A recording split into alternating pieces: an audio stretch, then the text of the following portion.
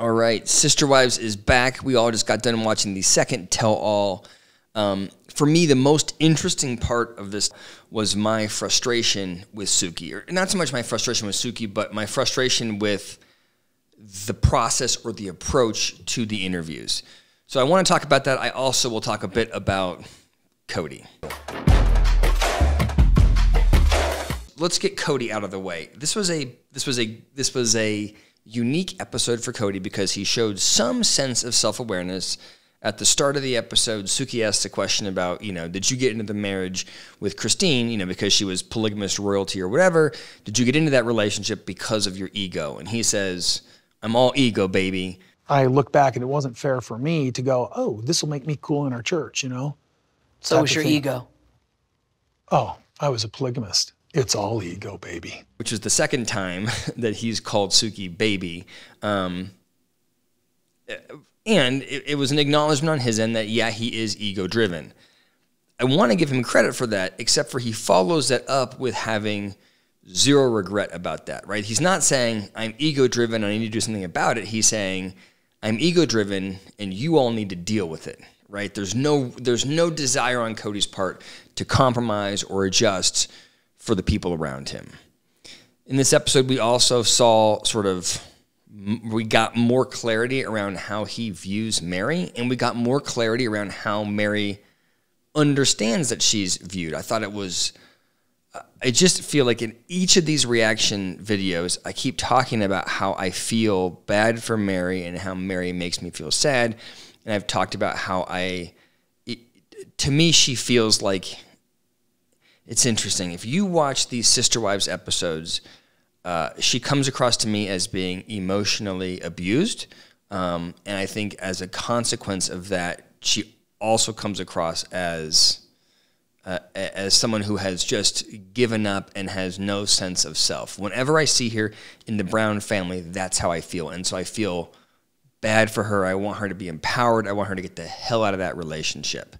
And it looks like in this tell-all that she's doing that if you separately, if you follow Meri on Instagram, like just this evening, I was looking at her Instagram.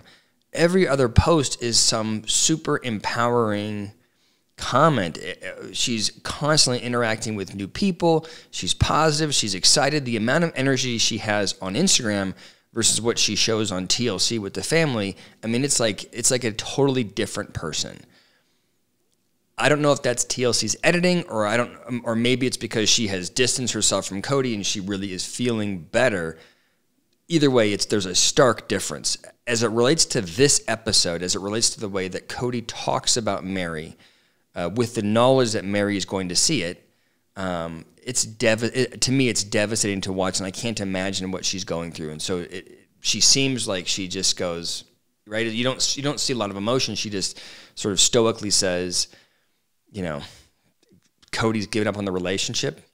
I love him. He doesn't love me. I've worked hard on myself and it's not enough.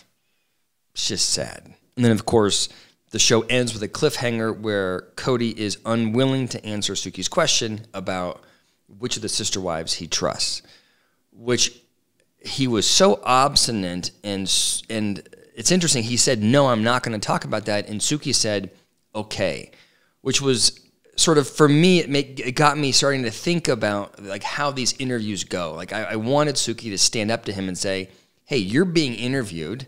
This is part of your kind of contract here with tlc you need to answer the question.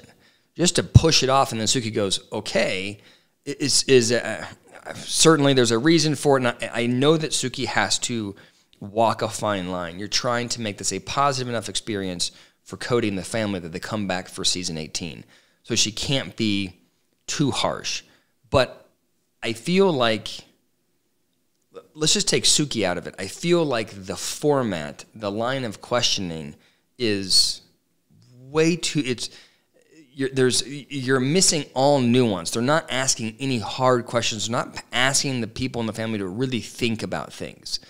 Like I, like I was just thinking about like like what if they ask questions like uh, Kody, do you worry about the emotional impact you are having on Meri when you speak so dismissively of your relationship about her? I would like Kody to answer that kind of question. Or, or they could ask a similar question about how Kody treats his children. Kody, what do you, you know, you have some perspective now when you take, when you step back and you look at how you've treated Ysabel and the interactions that you had with Garrison and Gabe. How do you feel about that? Is there a point that an adult needs to step up and take accountability? Uh, like, I want to see him have to think through these kinds of things. I'd like Kody to ask himself or be asked the question Does the husband in a plural family have a responsibility to reduce the impact of jealousy?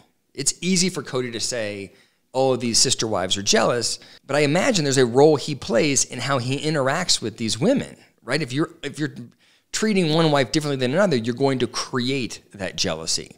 So it's not so much that I guess I have an issue with Suki. I guess I have an issue with the questions that she's been asked to present to them. And I think that there are, I don't know, I, I want to, there are things, there's questions that I have for the family. There's questions that, that I think the audience would benefit from learning about. And, and quite honestly, the family would benefit from learning about. Like these are clear dynamics. So, for example, it is very evident to me, and I think most people, that communication sucks in this family right? When the when any of the sister wives have conflict, the the response is to do essentially nothing. You have the blow up, and they don't seem they don't have they don't go get coffee. They don't have phone calls. I mean, I saw that Zoom call, you know, like midway through the season, and it was like it was if I were if I were a manager of a of a team in a business, I would be freaked out if that was the kind of relationships my direct reports had. Right? Why I don't understand why that they why they allow themselves to interact that way. I also don't understand, and I would love to get some feedback from any of the family members. Why is it okay for Kody to treat, and they know it, treat different wives differently? And I understand that you can say, you know, Christine can say Robyn's being favored, and and Meri can say Christine is mean, and Janelle can say I would never want Meri's relationship. They're all saying that, but what they're not ever doing is stepping up to Kody and saying, hey, you're mistreating that person.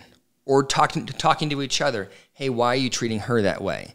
There's no effort from the group to make relationships better. Like, like in my mind, if this is a, if this is supposed to be a cohesive family, they should all be working together to make sure that everybody is happy, both the children and and the, the other sister wives. Like I think about it, like if I and this has happened before, where my wife has felt like I'm being too harsh on my oldest child, and if she sees that, she'll say, David, hey, you're being too hard on him.